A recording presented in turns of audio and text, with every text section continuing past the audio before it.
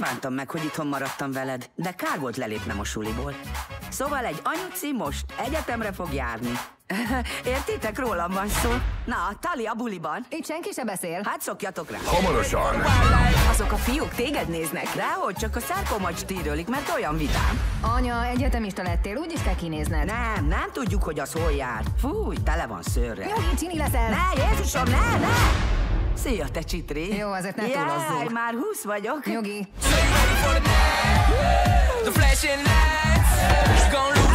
Az anyád tök A könyvtárban szexeltél, Frank? Nehogy elmond Franknek. Diana nyilvános helyen szexelt. Hol? A puffokon. Ha? Muffokon? Nem, fogd be, Frank. A parti állat. Idősebb vagyok és bölcsebb, és ez itt igazából egy Google. Kérdezhet bármit. Kapcsolt ki a punci tök gáz vagy. Tegnap Jack is betojt a punci Googlimtól.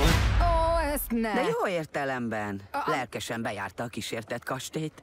Fúj! Hamarosan a mozikban.